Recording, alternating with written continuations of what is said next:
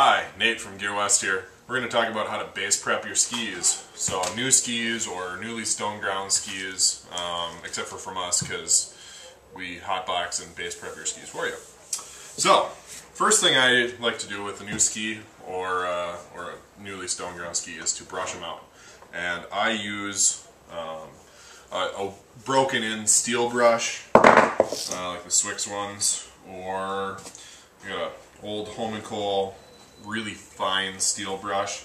These are good brushes for, for just starting out. We're just going to try to clean off some of the stuff that's on there if there is anything.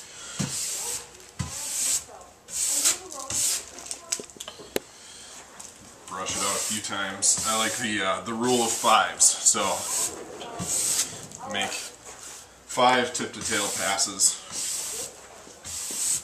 Just like that. Now we're going to use the white Fibertex to cut any micro hairs that are left on the base. And with the white Fibertex or any Fibertex, you just go a scrubbing back and forth motion like this. And again, rule fives, so five times. Okay, so now we're going to put some wax on the skis. And before I wax after the Fibertex, I just brush one more time. Just once, tip to tail. Um, with the wax, because there's never been any wax on this ski, I'm just going to crayon on a quick layer on both sides of the the groove just to have a little extra protection. Now we're going to iron in some wax.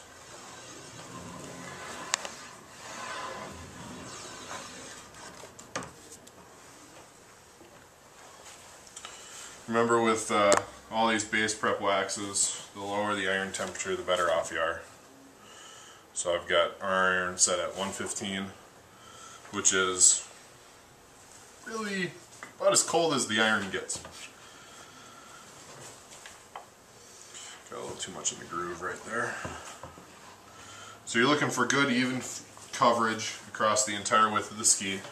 Um, because this is such, this is the Swix Base Prep 99, because it's such a soft wax, I'm not really worried about overheating the base with this wax because you can get it to an almost molten state just between your fingers.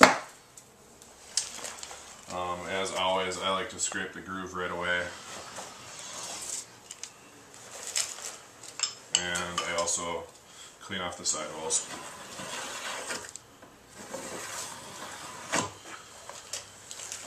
We're going to let this sit for mm, a minute and switch to another ski. So now we're going to scrape and brush our base prep, uh, and then we're going to use a harder wax. The ones that I like are, use Rex RCF, which is a low fluoro, or Swix LF6, and you're going to do about five coats of this stuff. So, and yes, you really want to do five coats. Scrape our base prep. The base prep is mostly just a, a hot scrape. It'll align all your PTEX hairs and also cut the, the ones that are too long. So it is very important to use a sharp scraper. There are several good sharp, scraper sharpeners on the market. Uh, the one that we actually use in the shop here was made by a guy in Ohio, Ski Scraper Sharpener. So they're uh, made here in in the in the states. So we like to support our local businesses. Alright, so now we're going to melt on. Uh, I'm going to use the Rex RCF. Turn the iron up a little bit. I like to use around 130, 135. See if it's melting. These irons are pretty quick to respond, so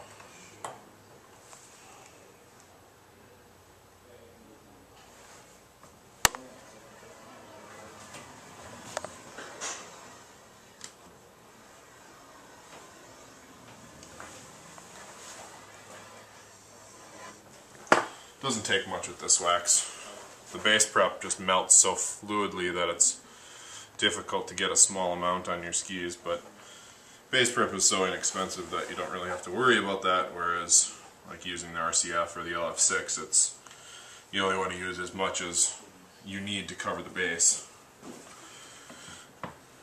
So while you're ironing, you can see you can see it soak into the base material And if you don't have good coverage, you can see that as well because you'll see bare spots.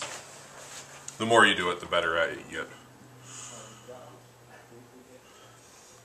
I like to give it one good pass, and I'm looking for liquid behind the iron, anywhere from one, well, anywhere from nothing to three inches. That's how I determine my iron speed across the ski. And then I'm going to scrape the groove in the sidewalls because it does make it easier to do it before the wax cools. Handy in my pocket. Can't find my scraper.